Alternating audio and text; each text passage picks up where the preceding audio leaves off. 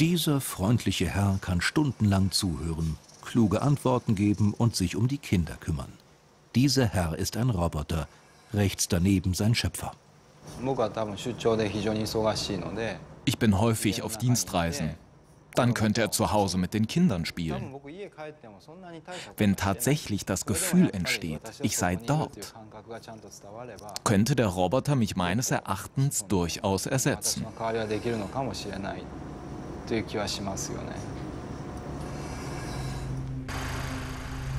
Der Dokumentarfilm Plug and Pray zeigt, wie weltweit fieberhaft daran gearbeitet wird, uns zu ersetzen. Durch Maschinen, die funktionieren wie unsere Körper gesteuert von hochkomplexen Computerprogrammen. Schon jetzt können sie sehen und hören, Gesichter und Sprache erkennen.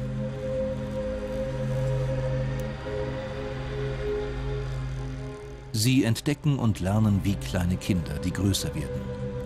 Künstliche Intelligenz. Sie können ein Spielzeug sein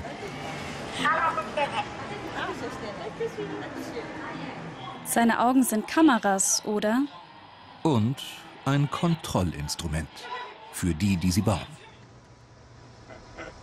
Es geht auch darum, Kontrolle abzugeben. Ein Roboter steuert ein Auto. Die Bundeswehr entwickelt ihn für Kriegseinsätze. Die Menschheit wird sich daran gewöhnen. Und die wird sich an neue Systeme gewöhnen und kleine Kinder, die wachsen mit dem Computer ganz anders auf, wie das Erwachsene getan haben.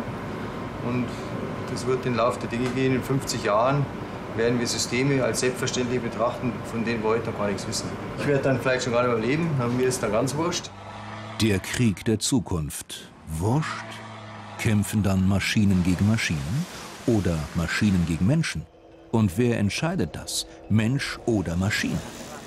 Die Frontlinien eines neuen Machtkampfs. Ein Mann warnt davor.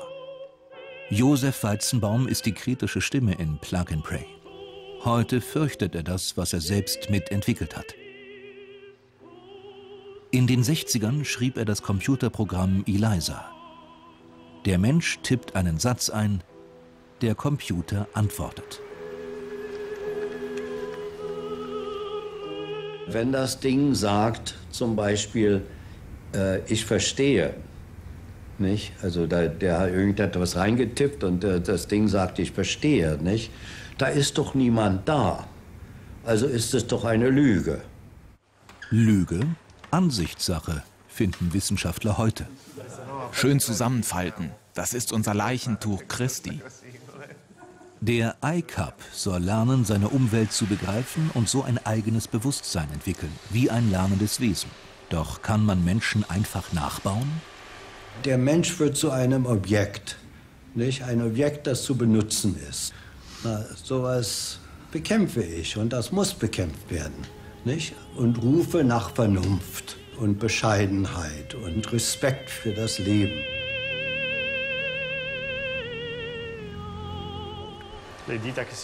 Doch den Wissenschaftlern geht es um Ergebnisse, nicht um Fragen.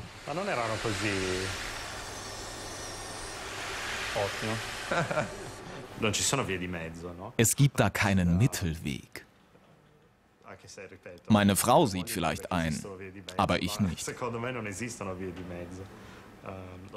Entweder man macht es oder nicht, aber man kann es nicht halb machen.